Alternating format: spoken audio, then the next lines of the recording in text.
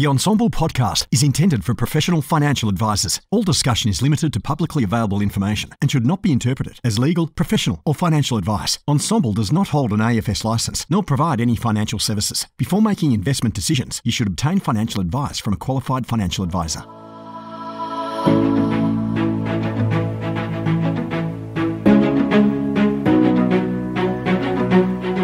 G'day, Clayton here from Ensombl. Thanks for joining me for this podcast. It's a pleasure to be able to do this from time to time. Hopefully, you enjoy. If you're not already on Ensombl, please go to ensombl.com or find us in the App Store. This podcast is proudly sponsored by NetWealth. Imagine a world where you can offer clients access to local and international investments. A world where you can engage with clients meaningfully, backed by powerful data and insights with mobile friendly technology. A world where you can build business efficiencies through scaled managed accounts and bulk reporting. And a world where you can get all the latest news, research, and insights to spot the changes that really matter. Wealth is more than just money. It's about opportunity and progress. A world of opportunity awaits you at netwealth.com.au forward slash woo. G'day, Clayton here from Ensombl. Today, chatting with Chris Booth, better known as Boothy. Mate, how's it going? I'm very well. Clayton from Ensombl. Um, Boothy here. Happy to be here. yeah, well, so we're in the discussion of, you know, potentially launching a, uh, a podcast dedicated for financial planners to get their head around property and debt and all those good things. Um, and sort of as we were discussing it, and I was getting my head around how you know how knowledgeable you are in this area, including we just spent the last five minutes going through my own personal situation. What I thought would be a great sort of introduction to the listeners of the Ensombl podcast um, would be a bit about your background uh, and sort of how you came to be one of the co-owners and, and CEO of Lydian, um, and you know your experience working with financial planners. Um, basically, if we if we fast forward six to twelve months from here, and you're on you know on a weekly episode educating financial planners about how to work with debt and property, let's set you up in terms of you know why advisors are going to listen to you in the first place. And I know your background and, and I share an office with you and I get to see how, how busy you are. But um, I think it'd be really interesting for to go through a bit of your history and uh, and what brings us here today in this fabulous office we have here at yeah. 75 Pitt Street. Yeah, it's cracking, isn't it? No, I love it. Level four. Come on down. Absolutely. so um so mate, talk us through when did you first get into this whole property and mortgage space? Well, so my first stepping stone into, I suppose, banking and finance to do home loans, which is kind of part and parcel of what we're talking about now, is when I was about sort of 30 years old, hmm. joined the Commonwealth Bank. So I just recently uh, left the Bank of China, which was an interesting conversation, but that's probably for a different. Oh no, no, no, we're not. that. Talk to me about the Bank of China. What on earth were you doing there? Well, so my when I first came to Australia, my previous job was in um, the Isle of Man at the Royal Bank of Scotland, where I was involved in treasury, so foreign exchange, money markets, all that kind of stuff. Right, and I was really, really buzzed to be involved in you know that that sort of treasury stuff is quite sexy. You know, mm. read the Fin Review or whatever it would be, and yeah. it's quite interesting. And then I did my courses uh, subsequent to learn more about markets. So I've always been fascinated how how markets uh, say they're um, you know they're they're compliant and they're regulated and things, but how unregulated when you're at the granular play here. They are. Anyway, um, came to Australia, had no job, um, looking for a, a, you know a treasury job, and the, the the job that popped up was for the Bank of China. So um, at the office in York Street, opposite the Occidental, so top HQ, oh, best place. Absolutely. Um, yeah, started my journey as a, a, foreign exchange person here in Australia, which was trading.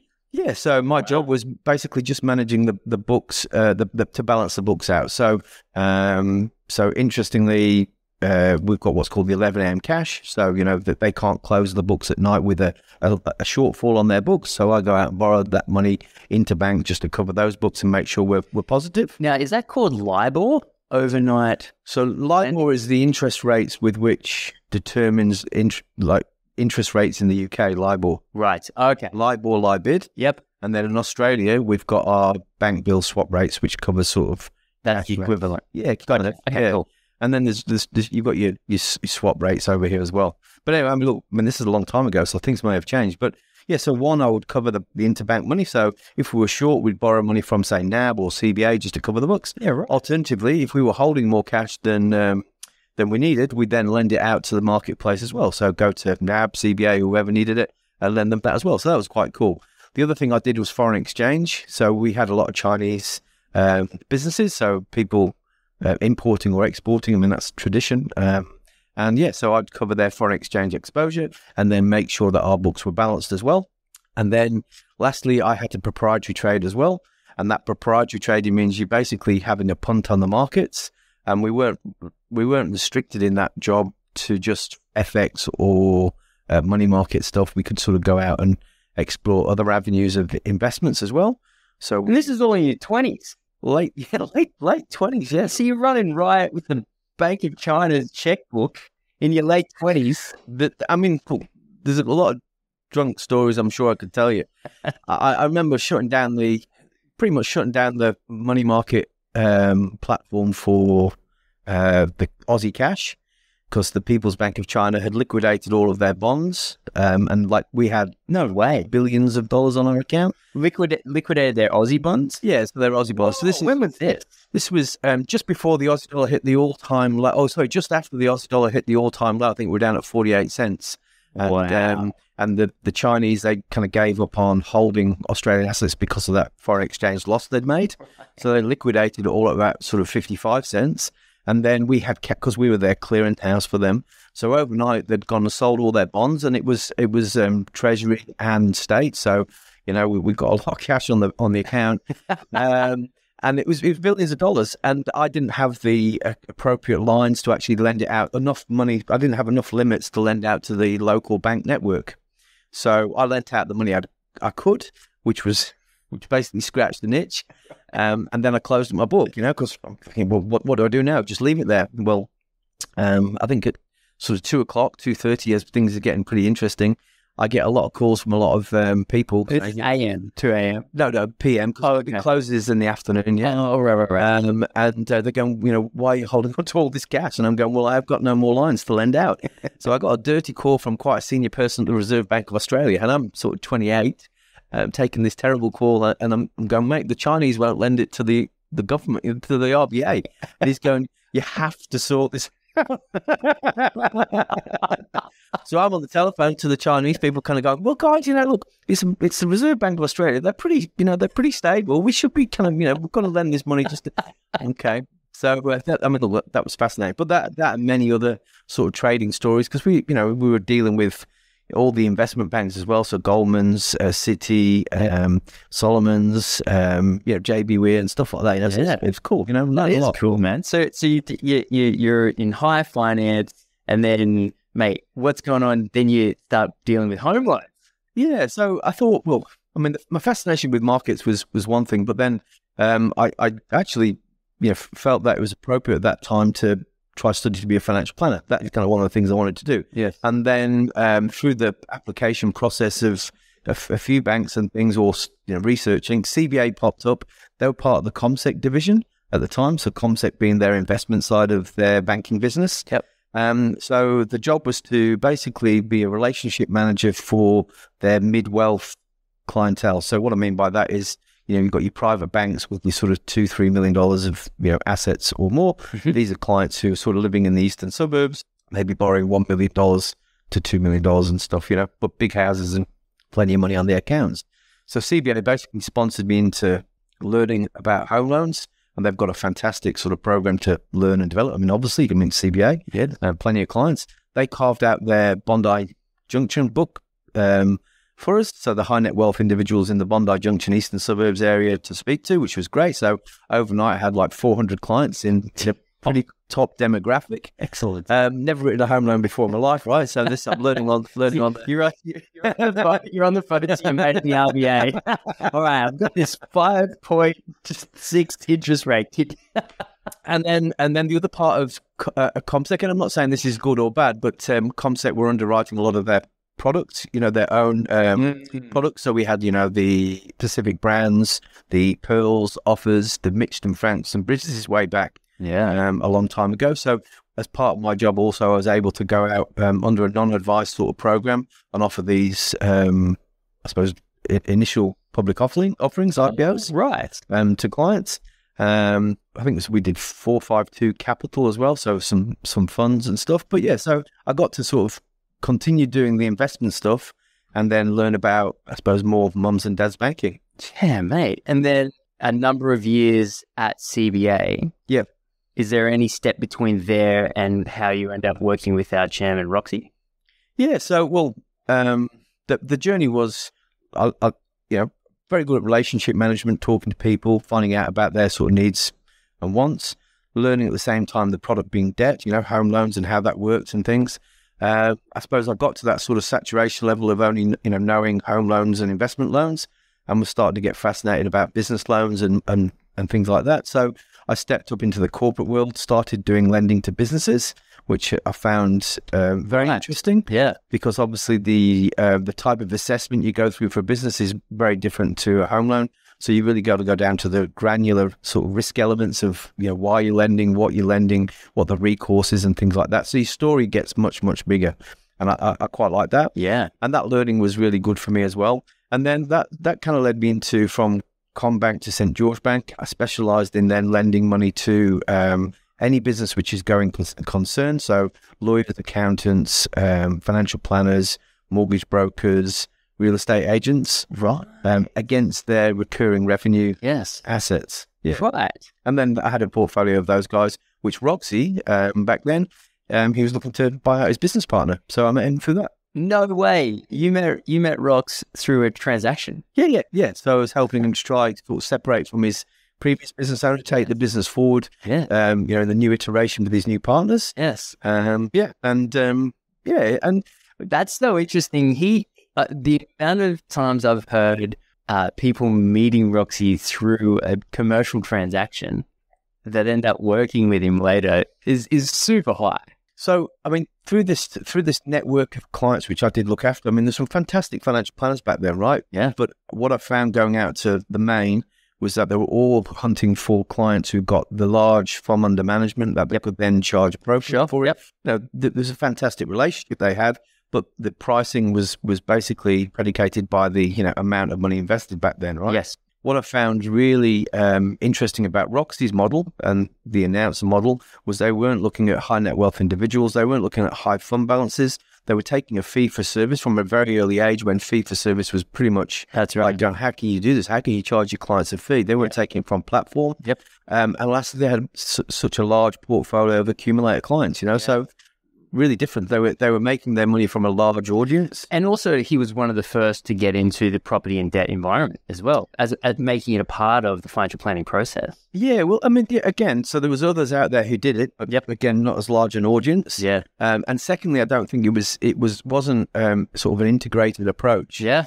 um, too. But okay, you know, I th- I think the learning years which I had both in you know the Treasury one at S- uh, Bank of China, the CBA days were, were pretty great. You know, learning the debt craft from scratch, and they also also sponsored me and put me through DFP one to eight, which I know back then was the the qualification to be a financial planner. I know it's short of the mark today, but you know it gave me that backbone of understanding the other other elements of a, a client's wealth Yeah. creation plan, also protecting a client as well. Yeah. Um, and and and again, you know, I try to live those values myself with the relationships I got either in the bank or more more formally later in announcing. You know, Yeah.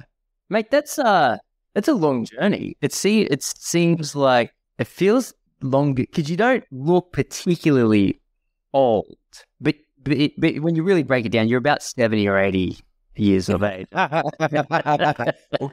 the Greys. Yeah. So so again, right. So if I go back through that story, I, I've always been wanting to learn. Yeah. And but before before I take a, a, a risky step, as it were, being either self-employed or, or not, and that's talking about you know why Lydian today. Yeah. I felt I had to learn my craft before I could actually take that next step. So, you know, if I go back, you know, to be, a, I always was always fascinated with becoming a mortgage broker, but you know, husband, wife, three kids, financial obligations at home. It's difficult to do that because uh, you, you know you're risking everything. So, Roxy gave me that halfway house to learn how to be a broker, which was really, really kind of him at the time to do it. Yeah, so you basically um, built a, a quasi business out of uh, that was a part of the announcer group. Yeah, so we built a business within the business. Yeah, yeah, that's And- cool. and so you know, there's a sponsorship of some salary in there, but from day one, I did want to become a partner of the business. Yeah. Also, be a voice of you know the, the direction of the business as well. Yeah, Um, and also, you know, seeing all of these different businesses in my life as well, I've always been fascinated about how people uh, build a business yeah, and how people build a good business yes, and what the kind, kind of the elements from a, I don't know, a, a melting pot need to be in that business. So yep, s- having a seat at the table with, you know, six or seven other partners that announced Announcer gave me the ability to, one, have a voice, two, learn a lot, three, understand financials again at that company level. Yep. Four, you know, figure out cash flow, hiring, firing, yes, offices, Yep. fit outs, all of that kind of stuff, you know? yeah. Well, I mean, all business is uh, marketing. The better your marketing, uh, the easier your sales. Uh, the more sales, uh, the more operations, operations, delivery, delivery outcome, outcome, how happy the client is. It's Yeah. it's it's this sort of linear process, and the better you are at each of those steps, um, the more likely you are to to grow the the piece of the pie. So. Um, when I look at what you guys are doing at Lydian, it's a very interesting model, right? Because you're you're working with a lot of different brokers. Um, you also have some amazing referral partners like H&R Block, for example. Mm. Um, and y certainly, while it's a brand new company in the sense that it's about two years old, give or take, Correct, yeah. it looks like it's much older because each of those steps, if I, if I think about to my own entrepreneur journey, I was the complete opposite of you. You, you. you figured out exactly how to do it before you started. I had no idea what I was doing when I started. Thank God that's over a decade ago now. But uh, yeah, the, the the systems and processes you have in place are super top notch, right? And and and I mean, because we were in the Philippines at the same time, seeing our staff over there, and your team was quite large compared to ours. And uh, the Jackie, I know you work with um, Jackie, who handles a lot of your sort of interim steps on where the clients are and and making sure that they get looked after. And a lot of your processes um, and your delivery in general and operations are super good. That that's been kind of the huge standout for me. Um, what would you say in terms of working with financial planners, specifically in your announcer days? Did you learn that you that you're now taking into the Lydian company? Because a huge part of what you're doing here at Lydian is creating a service that allows financial planners to increase what it is that they deliver to their clients, or increase increase the share of wallet, if you uh, use that terminology. Um, and you're making sure that those clients are well looked after. Which is, if I think back to my own financial planning days, that was what I was looking for. I was looking for how do I increase the share of wallet that my office takes care of, right? But without losing sort of that best of breed uh, uh, uh, touch points along the way. So, what did you learn at Announcer that allows you to sort of bring everything that you learned there into Lydian to help with financial planning clients? Yeah. So again, um, firstly, my knowledge around relationships, and certainly for me, it's all about relationship the client first. Okay. So at Announcer, the financial planners have, and all financial planners have a really deep um, emotive and financial relationship with clients, I think, which is important. Okay. So that in itself is, for me, is, is the standout. Secondly, I know how, how hard it is for a financial planner to, one, uh, recruit a new client and build that trust and empathy and Yeah. um, you know, and their service proposition has got to fit that client, but also retain it now. You know, the you know to charge an annual fee for a client to have that relationship is you know it's quite bold too. So, parti- you know, for me particularly, I respect the industry that they're in and how hard they work for their clients. Okay, for me, I'm quite a lazy mortgage broker per se because I'm relying on, you know, one that the, the you know that relationship is super super strong with that planet. Two, because they're providing that sort of um, wealth creation advice, they've got all of the fact find details, you know, income, assets, liabilities down. So Yep. for me, running onto a conversation around finding an appropriate product to to uh, meet the needs and objectives that the financial planner is uh, providing is very, very easy, right? So, and hence uh, sort of this partnership. But I've always worked really well with financial planners because one, I respect that advice piece. So I'm not going to do anything or recommend anything which is outside of the scope of that advice initially. Two, I recognize my position as being a person sort of um, participating not only in the transaction, but that long journey of the relationship as well. So when you're talking about touch points, the client might come in this year and have nothing to do from a, a, a, an advice perspective, but a simple review of their debt, being interest rates, equity, affordability might be appropriate and it gives them value through that conversation. So I think plugging in a debt conversation is important, especially for you know the accumulators. Mm. But certainly uh, today, when clients are getting to that sort of 55, 60 years old and still carrying debt, And, um, you know, they'll still be wealthy clients, but investment debt, yep. um, it's appropriate to review that too. So the, the, the model we have is all about sort of um, be, being integrated into that advice process, but being secondary to so, delivering the advice. And just and and from what I understand, Lydia, do you guys use Xplan? So we, we don't, but what we what we like to do is collect data from Xplan, which is the base find information. Yeah, we are looking at trying to um, integrate data from Xplan. Well, how, how do you send? How do you send? So let's say I'm a financial planner. Let's say I've got 100 clients. let's say 20 of those clients have um, debt uh, with Lydian, know, through Lydian yep. as the broker. So you're saying you would send over an annual piece of information for me to use with that client in my annual review. Yeah. And how that's awesome. So how would you send it across if you're not using Xplan? Do you just send it across in a PDF or pretty much, yeah. So we've got we've got a review document which we use, which is PDF. Um, obviously, we've got all the privacy obligations in place for the you know the two way relationship. Yep. Um, yeah. So we give a, a PDF over which basically has current um, debt to income ratio, current loan to value ratio. You know, so that's what equity is in there. The strength of the interest rate appropriate to um, other lenders. Yeah. And lastly, the uh, score of um, you know your credit score. So you have Equifax or your um, like Veda or whatever it was called. Right. Yeah. And then let's go through the different ways because we've spoken about it separately, but there's, I think, two ways, or, or maybe there's just one that you're focusing on in on. But e- either way, like let's say I'm a financial planner, right? Let's say I might have a credit license just because of the qualifications that you do as a financial planner, but I certainly have never done mortgage before, right? So, um, so let's say I I want let's say twenty percent of my clients uh, and the need for either refinancing or buying a property, and I want to work with you guys. How do you how what is the system that you do in terms of upfront and ongoing commissions and that kind of thing, and and what work is required from me? Sure. So uh, look, we believe that the you know the best relationships are the ones where the financial planner or the financial planner's business is participating in that transaction with us. Cool. Um, so initially, you know, collecting that fact, the, the initial fact find or an old fact find is important to us and therefore some of the work has been provided by the financial planner. So we're happy to pay for that sure. initial relationship. And as we're doing a, you know, if we're implementing a review as well in, in tandem with the financial planner's review, well, therefore we've got trail commission in mortgages. Therefore, we can pay. We feel it's appropriate to pay trail commission if, again, the financial planner is integrating this uh, this product and service conversation at the review.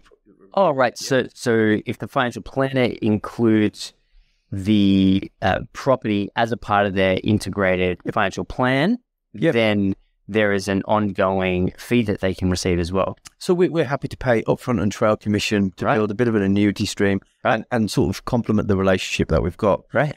If for, I mean, we, we know we've got clients, financial planning clients who don't want to receive an upfront income or don't want to receive any income from our sure. services. Yep. Um, we offer a rebate to the client. So the client gets a financial benefit for the relationship. Right. Okay. And that is reflected well at the financial planners. Uh, right. So the, well. so the option is uh, if if the advisor is happy to take a, a commission, then they can. Yep. And if the advisor uh, doesn't want the commission, then they can have it. Correct. Reduced the client. The fee to the client. Yep. Super interesting. Yeah, I love it when um, I think back to my insurance days. I I would love it when clients came to me um, and they already have something in place. And when they came across to me, I'd just call the provider and say, "Hey, can you please take off the inbuilt commission that's in there?" Oh yeah, yeah. And then all of a sudden, the clients like gets a, an immediate reduction in what they were paying previously, because I was I didn't start out as fee for service. I started out just as very traditional um, financial planning uh, business, uh, and then sort of over the space of uh, I built up the company over about four years.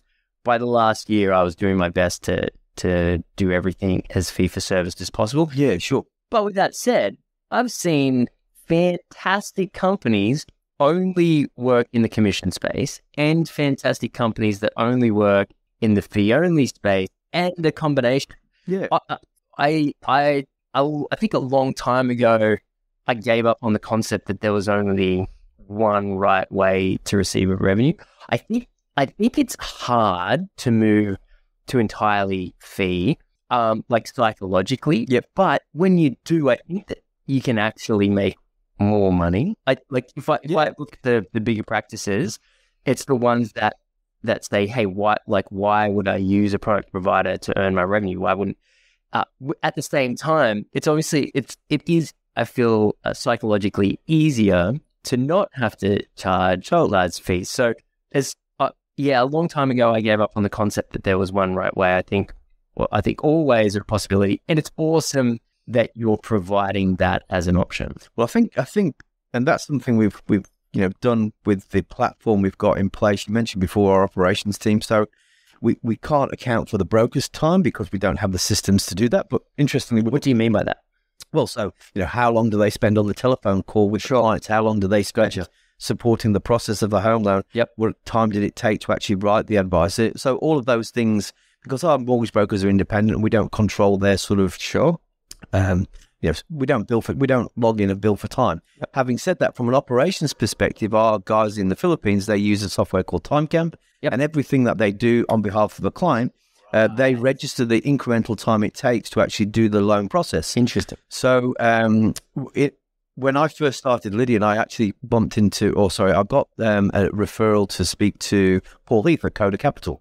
Ah, so Paul, uh, but my best friend David Knowles works at Koda, and he goes, right. "Look, you know, Paul set up a Koda Capital. It was, you know, on the back of an envelope. His big thing was, you know, uh, dealing with, um, you know, non-conflicted remuneration, yes. importantly, and building like a high net wealth space. So, yes, I'm sure there's a lot more to it, right? But anyway, but I sat down with Paul, and one of the things he said to me was that if you can, if you can actually physically demonstrate the time it takes to service your clients, yes, um, and then um, appropriately charge a fee or collect uh, commissions which service your client, then you're in, you know, you're in that sort of hybrid fee for service space. Yeah. So that's what we're trying to do now. So every time we have a transaction, um, we actually measure how long it took to actually serve from an operations perspective. Yep. That client. Now we get complicated ones, we get good ones, but the average time per file operationally to do you know end to end is about ten hours. Some blow out to even more. Right. So if you think about that from you know the cost to, to, to service your clients, if we can at some point in the future share with the client how hard it is to actually do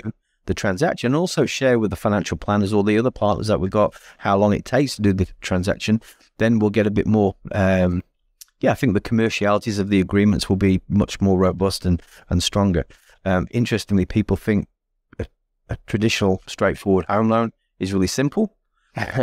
well, I do because I've never done one. So to me, um, you know, you, you see these kind of these these app platforms that are out there. They, you know, they yeah. give you they give you 30 seconds and you get a loan or something or other, right? So, I, but I don't know what that means. I I don't know if it's real. Realistically, if f- from this side of the fence, we, when you've never done it before, you don't know. Yeah. Well, I said, look, again, there are many clients who are in that sweet spot whereby they've got strong income, um, and I'm just talking about their base income. They've got a low loan to value ratio with a prime asset being a you know a, a city metro property. Yep. Um, and to demonstrate both uh, to to to demonstrate uh, the valuation of the property, we can do an RP data, no problems. Yep. And to evidence income, we can just look at the deposits in an account as a salary. Yep. Um, and that that's no problems at all to to service the debt. And there's very few clients who who actually fit that model. Right. I'd say sort of 20, 25% of clients would. Yes. Um, and therefore, that's why we're getting this this digital transaction today. So, um, and with open banking, which you know, is, is, being allowed now, but also it's being adopted now from a, a mortgage broking perspective. Yep. We're in that sort of um, space now where ultimately the clients. So right now we make a recommendation of three products, okay, but then we've still got to go through the application process, yeah. Right. But we're in that space now whereby that we could actually um, build the fact find and, and, evidence the you know the, the, income and things, and also then actually have uh, almost approval for three products, and then push through to settle with the product rather than uh, recommend and then approve. Does that make sense? Yeah. What is this recommendation piece new? I didn't realize mortgage brokers actually did that. No, so we so every time we actually uh, recommend a product, we've actually got to discuss who we've considered on our panel, yes, why we've excluded them, right, the features of the product we're recommending and why those features were appropriate, right, the interest rate component and the repayment components of the loan, yes, and lastly why we chose the lender. Uh, um, but typically we've got to compare that with two other prime products which they the client would have been eligible. Why, why would why would anyone ever recommend or accept something other than the cheapest?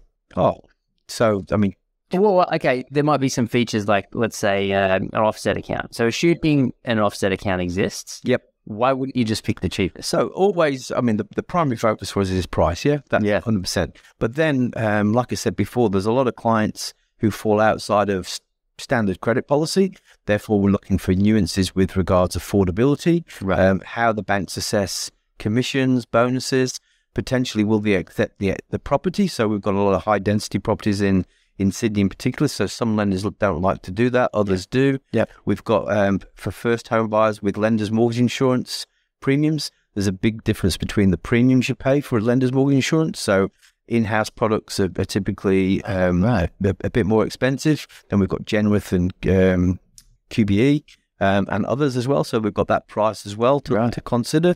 So there's a, a, you know, like fundamentally, we're always going for best price. Yes. Then second best product.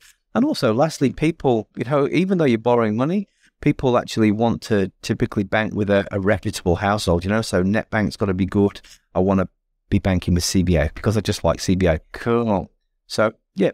Right. So the the second or third tier lenders who are offering, you know, five bips as a discount just not worth it because, well, I can't see it in my normal banking app.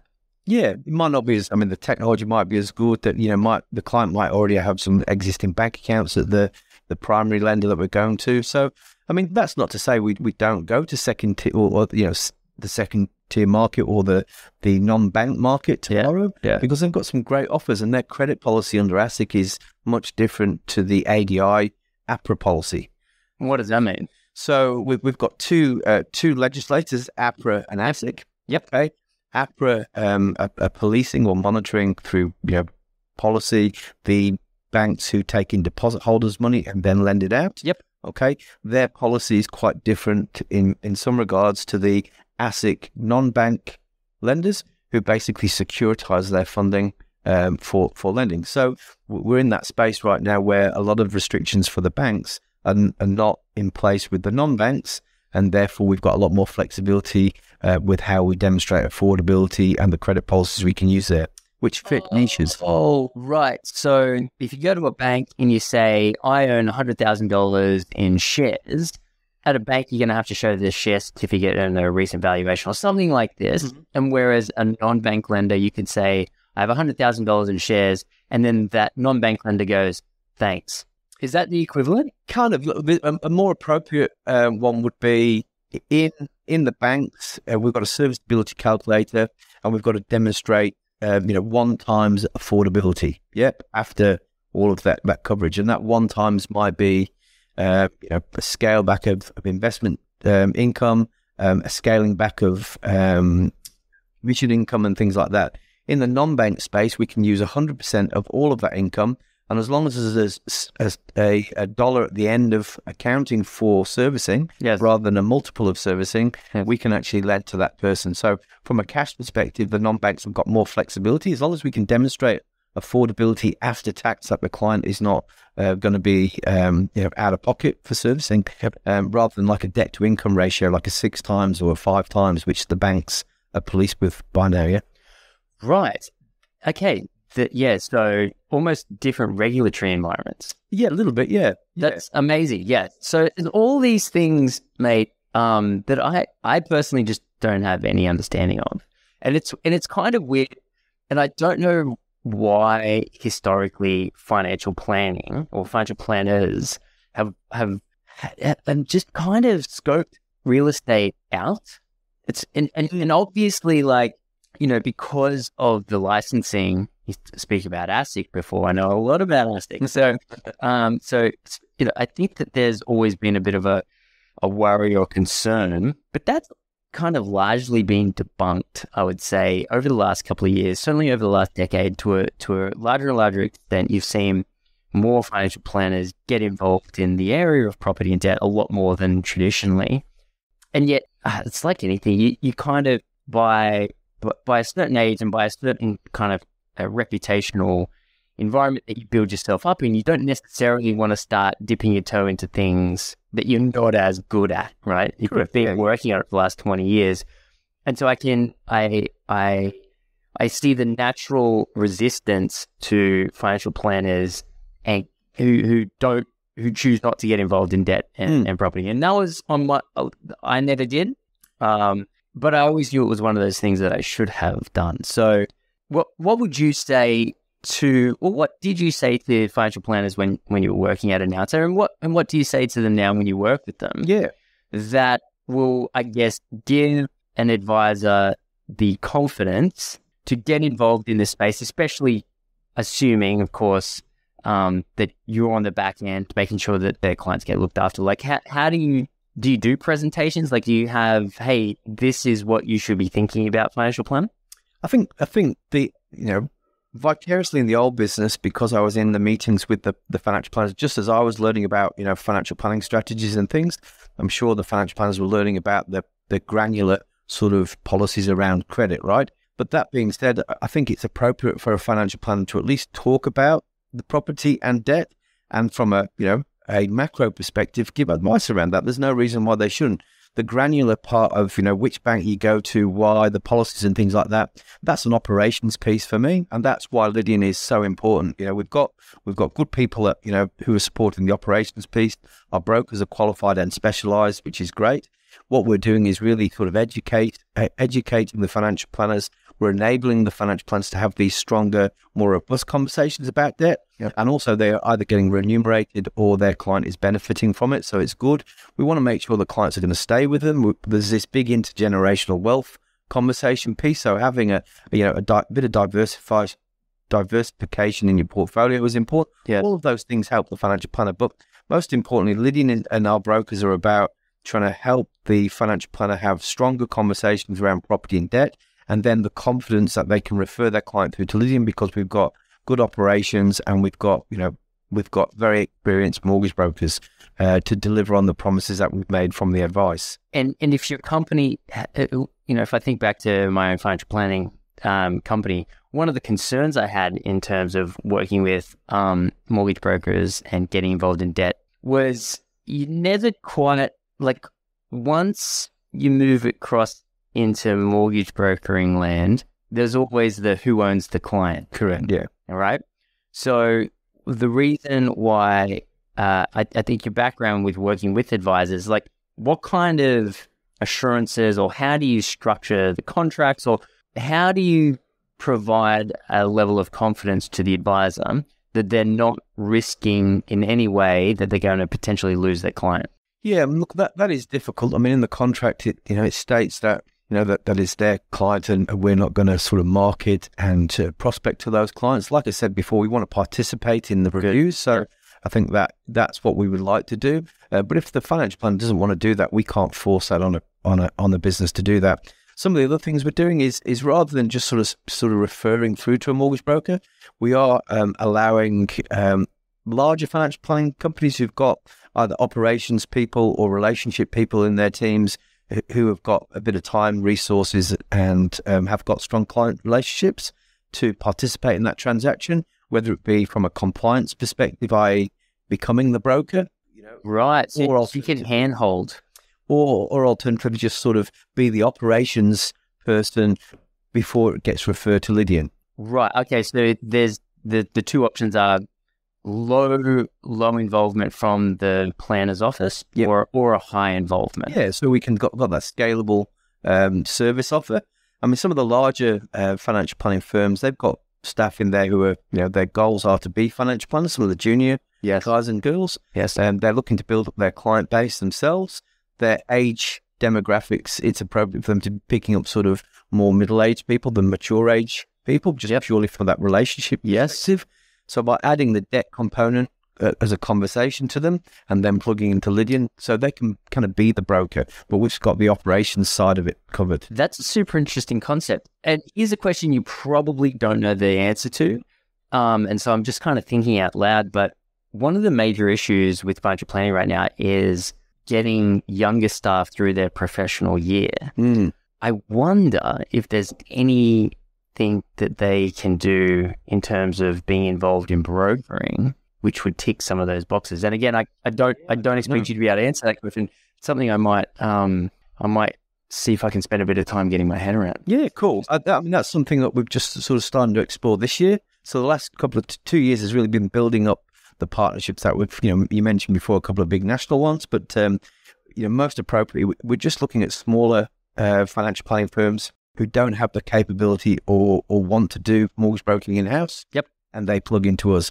But what we're, what we're also finding is a lot of larger businesses who do mortgage broking, they may have the broker, but these financial planning businesses are specialists at operations for financial planners. That's right. They don't give any operation support to their mortgage broker, right? So when I talk, like the unloved cousin on the yeah, so when I talked before about ten hours to process a loan, that's not. I'm not messing around. So that poor mortgage broker, he's got to do the relationships, he give a high um, client experience for their person, Right. plus do the data entry, file hygiene, maintain compliance. The the business owner is thinking, well, I've got this great mortgage broking business, but it's not supported by the same operational excellence Right. to the financial plan. Also, you might actually be using financial planners or even potentially even brokers and and plugging in a back office to them. Yeah, kind of. Yeah, kind of. Yeah. So that's the VBP thing. Right. Yeah. Um, the Lydian thing is is uh, potentially we have that. You know, we place that broker in that group, which otherwise it'd be too hard to build out this. You know, this ecosystem Yeah. mortgage broking. Yeah. Yeah. So anyway, look, I mean, we're two years in, and we've got definitely got the maturity in the operations space now, which has been our primary goal. You know, we've got guys and girls over in the in Cebu in the Philippines. Yeah. You know, the process that so many applications uh, with so many different lenders. Their credit knowledge is huge. Yeah. And we've got three or four guys now or girls um, who are almost at that credit analyst perspective. So you can, you know, give them the data. They could sift through the different policies and things, Yeah. and they could recommend the product. Not that they, you know, provide the advice to clients, but they can certainly do all of that, you know, that paper movement and things.